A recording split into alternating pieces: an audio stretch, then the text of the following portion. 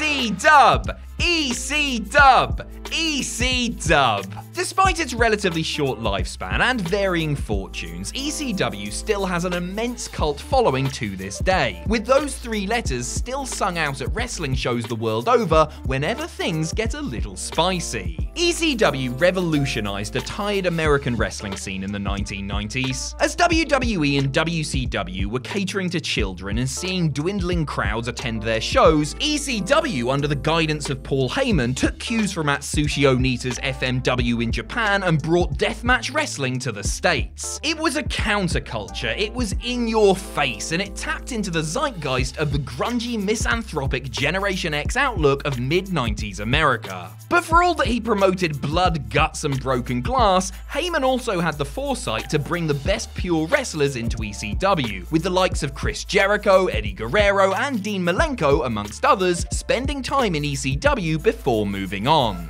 ECW also pushed the envelope in terms of storylines and promos, seamlessly mixing reality with controversy week in, week out, and carved a niche as a true alternative. As ECW grew in reputation and popularity, its world title grew in stature too. From its inception in 1992 through its initial demise in 2001, subsequent rebirth in 2006, and final whimpering death in 2010, we have seen 32 men lay claim to the ECW title across 49 reigns. It's been defended on the independent scene as part of the NWA, across Japan as the main title of America's third biggest wrestling company, and as something of an afterthought in WWE. I'm Adam Pacitti from Cultaholic Wrestling, and this is every ECW World Heavyweight Champion ranked from worst to best. Let the bodies hit the floor, baby! Join us! Number 32, Ezekiel Jackson. Big Ezekiel Jackson. You can only imagine Vince McMahon's face when he first laid eyes on this beefy boy. Six foot three, 280 pounds, and with traps big enough to make Goldberg look like Gilberg, Jackson was your typical Vince wrestler. But while he looks incredible, he had little about him in terms of character, charisma, or moveset, and as a result, the audience was fairly apathetic toward him. Thrust to the top of the ECW card when the third brand was just about dead and buried, Jackson has the distinction of being the very last ECW champion, defeating Christian for the strap on the final edition of ECW on Sci-Fi and retiring the title immediately. No hyperbole here, Jackson was champion for literally three minutes. Even if ECW had continued, it's unlikely that Jackson would have done much with the title, and his bland powerman style was never going to draw eyes to the product, nor was it in fitting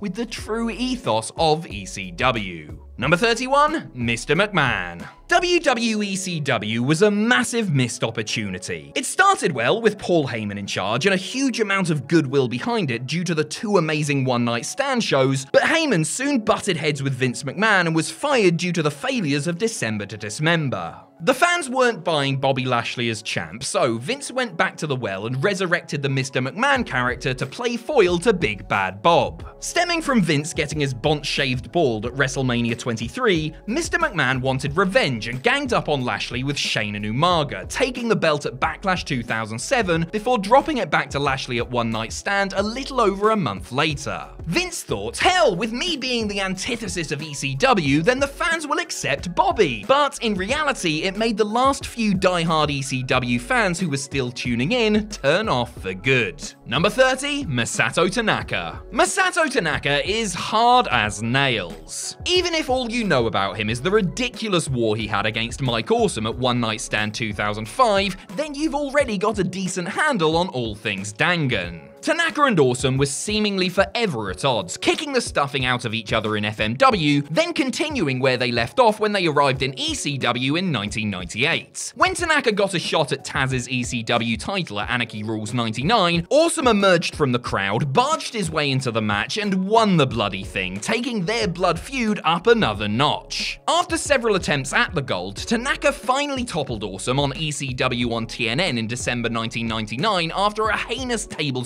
battle, becoming the first Japanese ECW champion for six days, losing it back to Awesome on the next episode of ECW television. The two would feud until Awesome controversially jumped ship to WCW, with Tanaka and Tommy Dreamer dropping the ECW tag titles to Awesome and Raven before that fateful day. Tanaka would never get another run with the ECW title, no matter how many unnecessary table bumps he took. Number 29, Rhino. Steve Corino's personal attack dog Rhino soon eclipsed his handler and broke out as one of the most exciting talents in ECW. Built like a fridge and with the temper of a wheelbarrow full of angry wasps, Rhino literally ran through everyone on the ECW roster, including cult heroes like Tommy Dreamer, Raven, and the Sandman. His feud with the latter establishing him as one of Paul Heyman's prized assets. As he rose through the ranks, Rhino got his hands on the ECW TV title, a belt which at one point was arguably bigger than the world title thanks to Rob Van Dam, and continued his path of destruction, crushing Super Crazy and even Van Dam himself. Cut to Guilty as Charged 2001, Rhino was still TV champion, and after Sandman defeated Steve Corino and Justin Credible to win the ECW title, the Man Beast demanded a match for the strap and flattened Sandman in a minute to leave ECW's last pay per view as double champion. Rhino did manage two title defenses before ECW shut up shop for good, defending the title against Sandman and Spike Dudley. Again, this was another case of bad timing for ECW. Rhino as the unstoppable monster champion would have been incredible, but nothing could save the company from the inevitable. Number 28, Johnny Hotbody. Ah yes, Johnny Hotbody, the first man you would want to put on ECW's Mount Rushmore.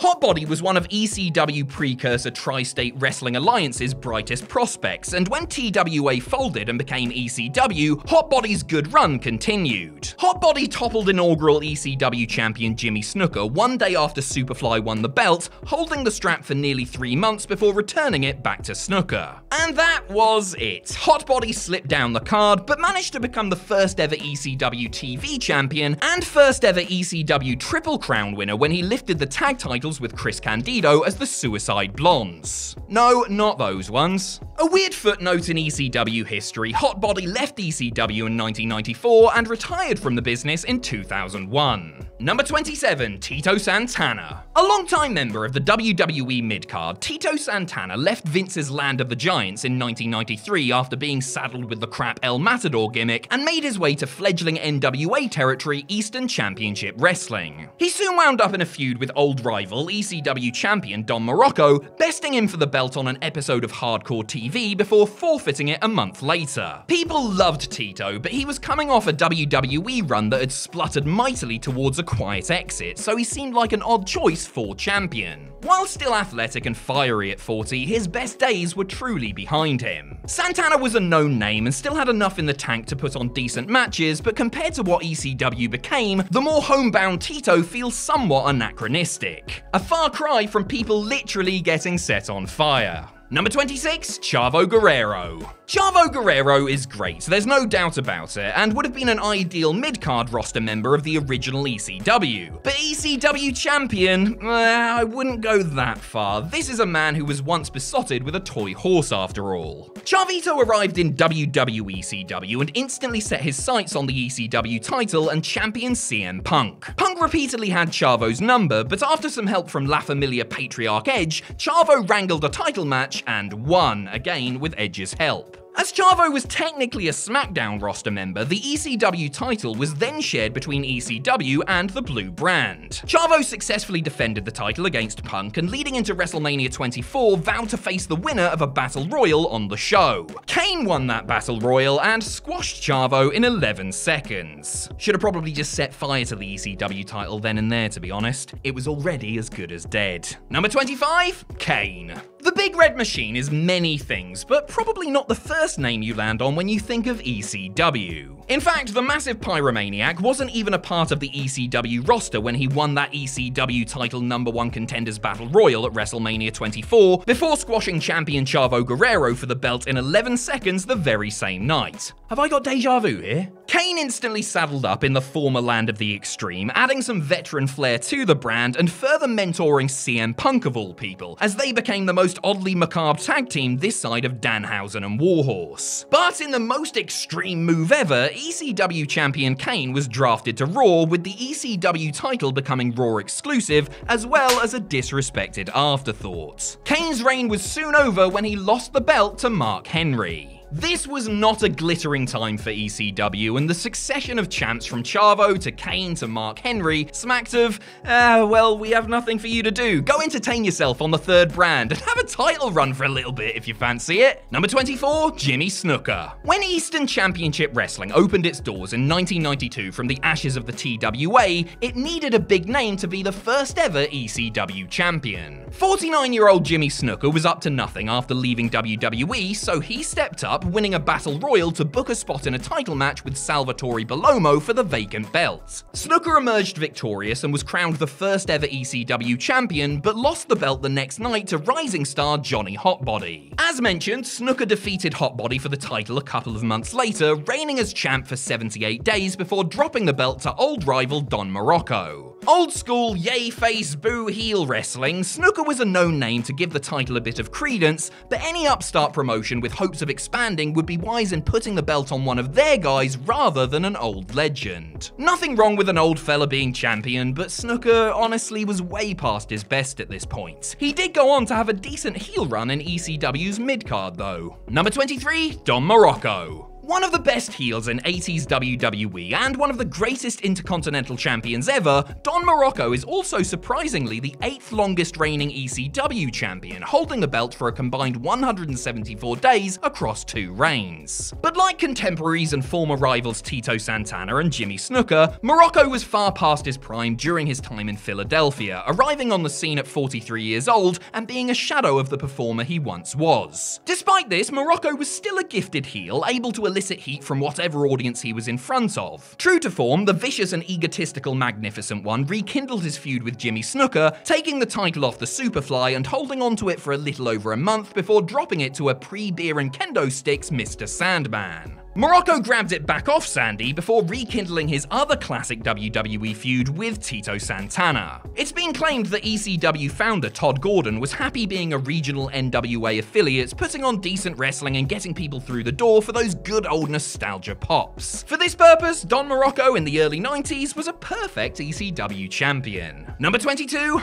Rob Van Dam. Hold on, hold on, don't kick off. Yes, Rob Van Dam is an ECW legend and one of the most celebrated champions in the promotion's history. But the hottest period of RVD's ECW run was as TV champion, a title he held for precisely 700 days. When RVD won the Money in the Bank briefcase in 2006, he challenged John Cena for the WWE title at One Night Stand 2, beating Cena as the hostile New York City crowd pelted Big Match John with spit, abuse, and bollock sweat. Paul Heyman gave Van Dam the newly reinstated ECW title when the brand relaunched, and we all thought, yeah, this feels good, with double champion Van Dam successfully defending against Kurt Angle on ECW on Sci-Fi. But things unraveled rather quickly. Now, I don't know if you know this, but Mr. Monday Night is a fan of the old wacky tobacco, and when he and best mate Sabu were arrested for possession of the sticky icky, WWE had no choice but to get both titles off of Van Dam. And pronto, Edge took the WWE title on the July 3rd edition of Raw, and Big Show took the ECW title the next night. A true shame, but I'm sure the scented Van Dam was affected in the same way as if the supermarket didn't have his favourite flavour of soda. Number 21, Steve Corino. The King of Old School was one of the highlights of ECW as things started going downhill for the company. Coming in as a moral crusader and decidedly anti-hardcore, Corino got over as one of the most hated villains on the roster, while blood-soaked brawls such as the Texas Bull Rope match against Dusty Rhodes legitimized him in the eyes of the fans. Part of latter-day ECW's wave of great new hopes alongside Justin Credible, Jerry Lynn, and Rhino, Corino was arguably the most well-rounded of the four and fought his way through the ranks until getting embroiled in the ECW title scene. But by the time Corino lifted the title, it was too little too late for ECW, and aside from Sandman, there weren't many established ECW stars for him to beat and get the rub from. In fact, it was Sandman who ended Corino's reign at Guilty as Charged 2001, with Corino leaving the company the same night due to receiving a few too many of Paulie's infamous bounce checks. Definitely a case of wrong place, wrong time for Corino, but based on his short spell as ECW champion, he would have been worthy at any point in the promotion's history. Number 20, Tommy Dreamer. The heart and soul of ECW is a two time ECW World Champion and the only person to hold the title in ECW Classic and WWECW. Tommy was the people's champ and the ultimate nearly man, always coming up short when it mattered most, especially when Raven was involved. However, after the Mike Awesome Taz debacle, Paul Heyman was left with little option but to put the belt on the innovator of violence, who lost it instantly to everyone's favourite wrestler, Justin Credible incredible. But Dreamer never wanted the strap in the first place, saying in the Rise and Fall of ECW documentary, I was actually pissed off. I wanted to go my entire ECW career without winning titles. The only reason I won titles is because guys left. When WWE relaunched ECW, Dreamer was still the heart and soul of the brand, helping create new stars and sacrifice his body for the greater good. And as his time with the company was nearing its end, he wound up in the title picture. Tommy defeated ECW champion Christian and longtime nemesis Jack Swagger for the strap at Extreme Rules 2009 and had a short thank you and farewell run before Christian took it back. Number 19,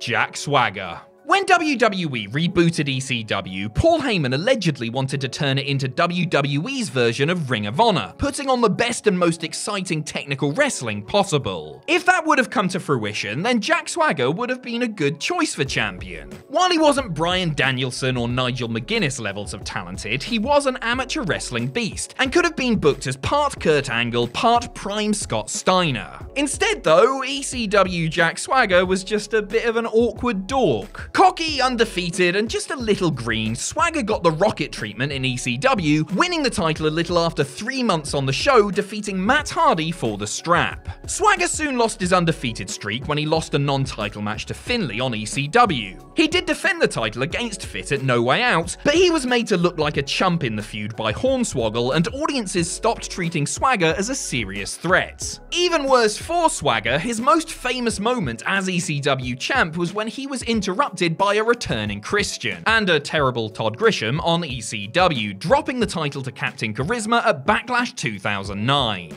Number 18, Mark Henry. For many years, Mark Henry was a bit of a joke. Whether he was getting Mae Young up the duff or. Actually, no, nothing's worse than that, is it? However, in 2006, WWE started booking him properly as Henry went on a path of destruction, utterly murdering anyone in his way. By 2008, he was firmly established as a mean heel son of a bitch, and he made his way to ECW to continue his spree, winning the ECW title on his debut for the brand, defeating Kane and Big Show in a 7.5 star classic at Night of Champions. Not long after winning the ECW title, GM Teddy Long hoyed it into a bin and gave Henry the big silver belt, a clear sign that the ECW title wasn't a proper world title anymore. Henry is great, we've all seen the Hall of Pain and we know how good he can be when given something to sink his teeth into. But on ECW, he wasn't given anything good to work with, saddled with Tony Atlas as his manager and retaining the title via DQ against Matt Hardy before dropping it in a championship scramble. Hardly a reign befitting a talent of his immense stature. Number 17, Jerry Lynn.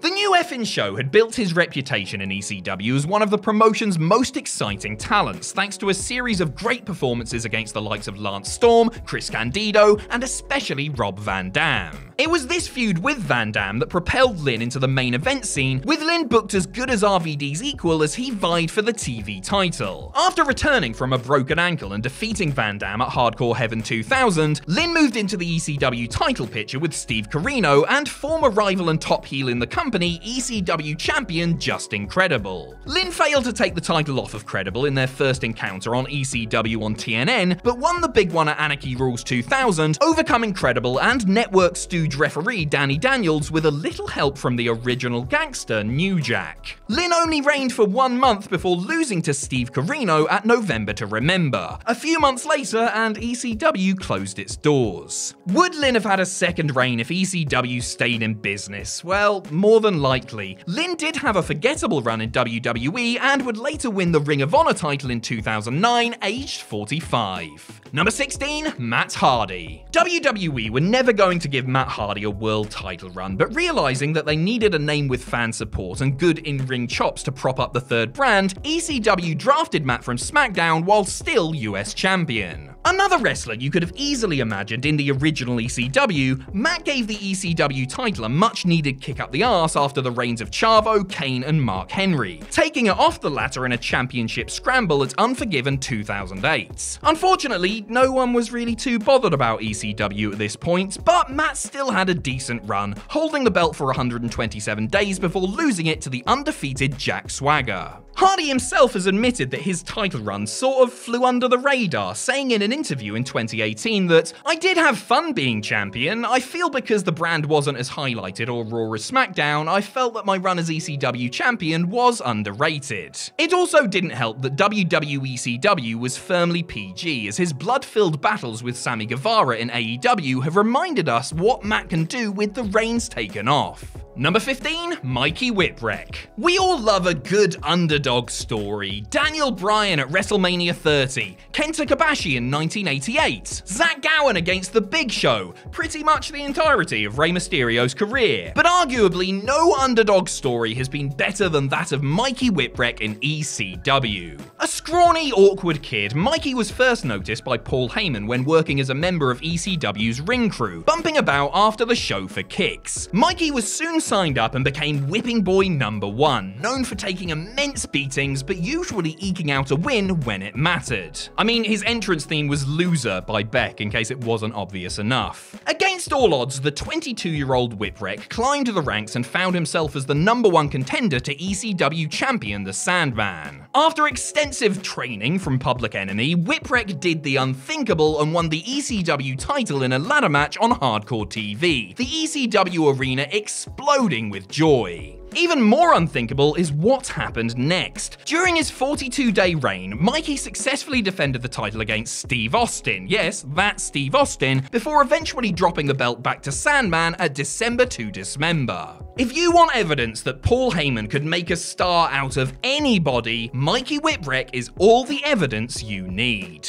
Number 14, Bam Bam Bigelow. Bam Bam Bigelow and ECW was a perfect fit. The big man never really found his place in WWE despite headlining WrestleMania 11, while spells in Japan were fun but perhaps didn't showcase him as the top guy that he could be. But in ECW, Bigelow was a name with credibility, and his smash mouth, I will literally throw you like a football style, made him popular with fans. The majority of Bam Bam's ECW run was as a member of the Triple Threat with Shane Douglas and Chris Candido. The three heels ruled ECW with an iron fist, with Triple Threat manager Rick Rude personally selecting weak opponents for Douglas to beat so that the franchise could keep his mitts on the gold. But Rude and Bam Bam tricked Shane, turning their backs on the group, and Bam Bam was selected to fight Douglas for the world title on an episode of Hardcore TV, winning after a meaty powerbomb. Bigelow's run as champ was short, but he managed successful defenses against the likes of Al Snow, Chris Candido, and Mikey Whipwreck before dropping the belt back to Douglas at the November to Remember pay-per-view.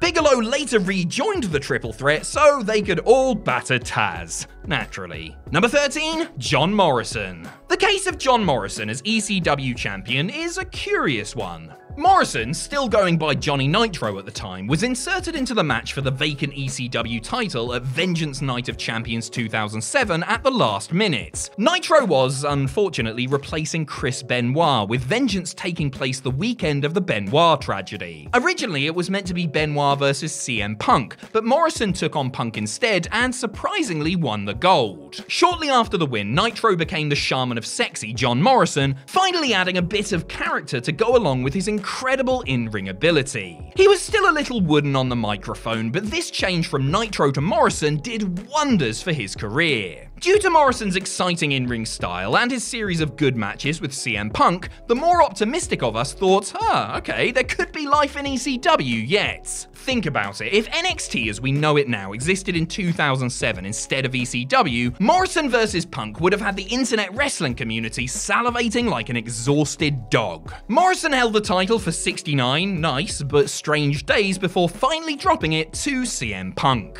Number 12, Bobby Lashley. Ah, Bobby Lashley.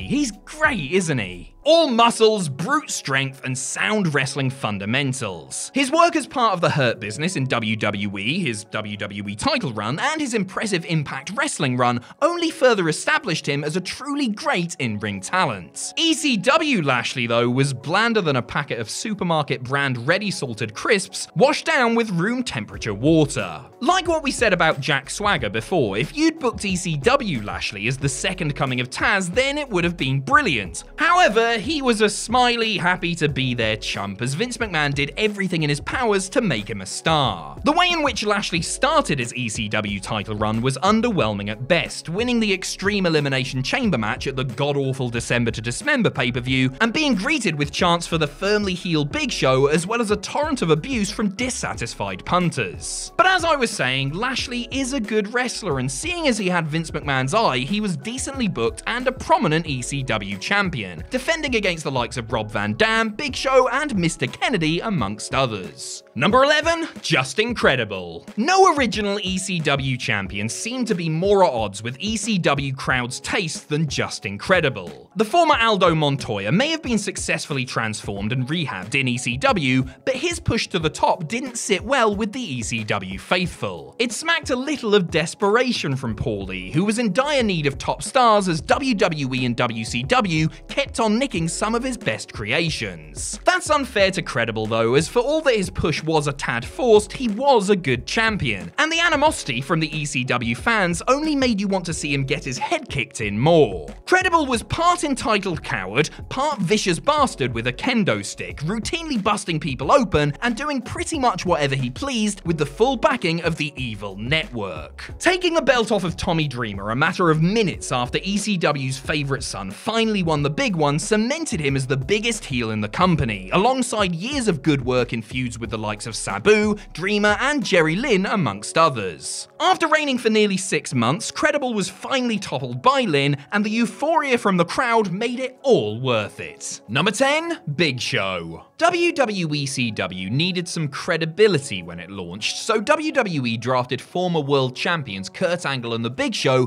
to give some much needed star power and a veteran rub. Show in ECW wasn't a bad shout. He was past his best and struggling physically for sure, but as a big horrible bastard who could throw people around for fun, he added something to the product. Big Show became ECW champion after RVD's brush with the law and was pushed as an unstoppable monster in the employ of the always conniving Paul Heyman. His title win made him the first and only wrestler to have held ECW, WWE, and WCW's world titles. This was some of the earliest evidence that ECW was now truly WWE, as Big Show defended the title against non ECW wrestlers Ric Flair and Kane during his 152 day reign, while his match against Batista in the Hammerstein Ballroom was notoriously crapped on by the hardcore ECW faithful who were in the building. Originally, there was a pitch for Show to be eliminated first in the Elimination Chamber by CM Punk, but Vince McMahon stuck his chin in and had Show drop the gold to Bobby Lashley instead. Number 9, Sabu. Whilst never the crispest in ring worker, Sabu was a genuine attraction for ECW and a certified trailblazer. Most US wrestling audiences had never seen the likes of him before, merging the bloodthirsty violence of Abdullah the Butcher and Bruiser Brody with a high flying style that was as innovative as it was risky. A two time ECW champion, it's odd that Sabu's longest reign with the strap was when ECW was still an NWA affiliate, holding the gold for over 80 days in 1993. When ECW was at its hottest from 1996 to 1999, Sabu had his second reign with the title for a whopping 8 days. It shows just how stacked ECW was at the time, and when you remember that stars like Cactus Jack, Rob Van Dam, Brian Pillman, and Steve Austin never held the gold, it makes Sabu's achievements even greater. Sabu's second reign is very significant for how he won it, toppling Terry Funk for the gold in an utterly disgusting barbed wire rope match, a match so extreme that Paul Heyman never booked another one in ECW history. You want your alternative to WWE and WCW? Well, it's right here, embodied by this terrifying, scar covered, bleeding lunatic. Number 8, CM Punk. One of the only high points of WWECW's existence was the emergence of CM Punk. A true game changer, Punk was brought in from Ring of Honor and after a short spell in OVW was instantly accepted by the hardcore ECW crowd at New York's Hammerstein Ballroom on his debut, defeating Justin Credible in convincing fashion. Anyone with two eyes could see that Punk was the future and Paul Heyman wanted to make him the face of ECW by eliminating ECW champion Big Show first from the Elimination Chamber before winning the match. Show was on board, but as previously mentioned, Vince McMahon had his say, and we all know how that ended. Punk had to wait another nine months for his moment in the sun, but was firmly established as the most popular thing on ECW and one of the few reasons to tune in. Plus, the title looked amazing on him. Cough. His feud with Morrison was very good and proved there could have been a future for the brand, the introduction of Miz into the mix only strengthening things. But all good things must end, and after 140 days, Punk dropped the title to Chavo Guerrero and moved up the WWE ladder. Number 7, Christian. It's it's Christian. The fact that Captain Charisma overcame that horrific call by Todd Grisham to have a good second run in WWE speaks volumes about the man himself. After three years reinventing himself as a main eventer in TNA, Christian returned to the Fed and interrupted ECW champion Jack Swagger, regrettably mocking his lisp. Not very nice, that, Chris. Christian soon unseated Swagger as champion, reigning for a couple of months before Tommy Dreamer won the belt after pinning Swagger in a triple threat. Christian soon took back the belt from Tommy and embarked on a 215 day run with the strap, the longest in WWECW history, and the fourth longest in the title's lineage. And this wasn't a half assed run either. Christian was the man on ECW and was a true fighting champion, beating everyone from Swagger and Dreamer through William Regal and Shelton Benjamin, the latter in a gripping ladder match at TLC 2009. Similar to Matt Hardy, Christian would have been perfect in the original ECW, and his run as WWECW champion was the closest we thought he would ever get to a world title in WWE. Thankfully, we were wrong. It was well booked stuff as it enhanced both the wrestler and WWECW and gave the title back some much needed prestige. Number 6, Terry Funk. A deathmatch legend and pioneer, Terry Funk was the DNA that fueled ECW. A two-time ECW champion, Funk was the legitimate link to the old school that ECW needed, rather than the likes of Jimmy Snuka and Tito Santana, and he wasn't afraid to set a bastard on fire if need be. The Funker first picked up the ECW title in 1993, holding it for 90 days before dropping it to Shane Douglas. This first run included one of, if not the first three-way dances for a top title in American wrestling, when the Funker defended against Sabu and Shane Douglas at the night the line was crossed. But it's his second title run which is most fondly remembered by ECW fans. Funk was positioned as an old gunfighter who was destined to go down swinging, having to deal with physical abuse night after night in ECW. After defeating Sandman and Stevie Richards for the number one contendership at Barely Legal, Funk fought the nihilistic ECW champion Raven straight away. Bleeding, battered, and bruised, Funk managed to overcome the odds and defeat Raven, winning the ECW title at 52 years old in a true feel good moment. Number 5, Mike Awesome. Just look at him. Mike Awesome was a truly impressive specimen. The size of a gorilla with the agility of a squirrel and the mullet of a sex god, Awesome was incredible to watch. Launching any hapless schmuck through the air and through about 50 tables, Awesome quickly caught on with the ECW fans, his never-ending war with Masato Tanaka greatly boosting his popularity. After a year away from ECW, Awesome re-emerged at Anarchy Rules 99 and barged his way into Taz and Tanaka's championship bout. The two old foes teamed to eliminate Taz and then proceeded to smack seven shades of you-know-what out of each other before Awesome hit a top rope Awesome bomb through a table for the win and the gold. With Taz on his way to WWE, ECW had a new king. Sort of. Awesome resumed his war with Tanaka and dropped the title to him for a cup of coffee before yoinking it back. Then Eric Bischoff threw a massive sack of cash at him, and Awesome debuted on Nitro wearing a bum bag and smacked Kevin Nash about a bit, while ECW champion. Oh dear. Paul Heyman, needing the ECW title back, borrowed Taz from WWE and had him batter WCW's Awesome for the title on ECW on TNN in a properly weird moment in wrestling history.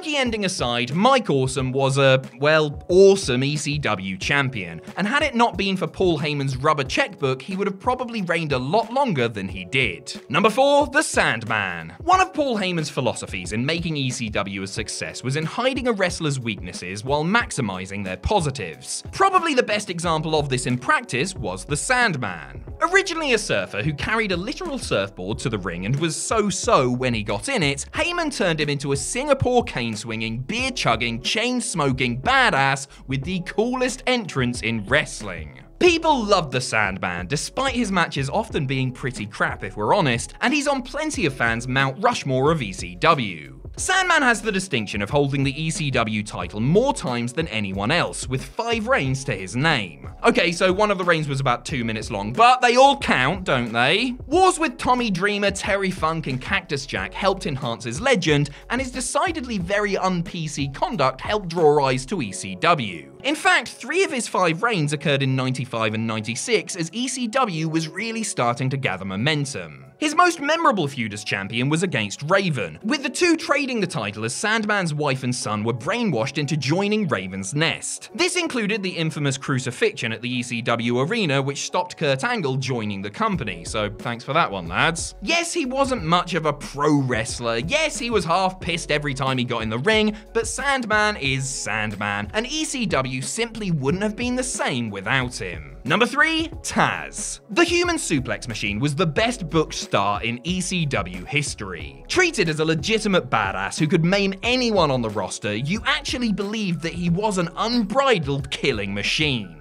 After pummeling his way through ECW and after several runs with the TV title, Taz had had enough and decided he wanted Shane Douglas's ECW World Heavyweight title, having battled the triple threat throughout 97 and 98. The franchise was on the shelf, but Taz thought Douglas was afraid to face him and was ducking him. Feeling slighted, he declared himself the uncrowned ECW champion and carried the unsanctioned FTW title to show this. When Douglas came back, Taz purposely jobbed the FTW title to Sabu and promptly choked Douglas out at Guilty as Charged 99, becoming the man of ECW. Taz continued battering everyone as champ, defending against Douglas, Chris Candido, Bubba and Spike Dudley, and Sabu, unifying the FTW title in the process. But his championship run made him a hot commodity, and Taz signed with WWE in late 1999, dropping the title to Mike Awesome at Anarchy Rules on his way out after a reign of 252 days. Again, as mentioned, Taz ended up coming back to ECW as a favor when Mike Awesome went to WCW with the belt, beating the mulleted one, then turning up on SmackDown SmackDown with the ECW gold before getting swept aside by Triple H, of course. To some, injuries and bad booking in WWE may have tarnished his legacy, but Taz in ECW was absolutely magnificent. Number 2, Raven. The word unique gets banded about a bit too much in wrestling, but Raven in ECW was truly that. A nihilistic, well-spoken, grungy, violent malcontent with a god complex, Raven was a monster, but in a way that was utterly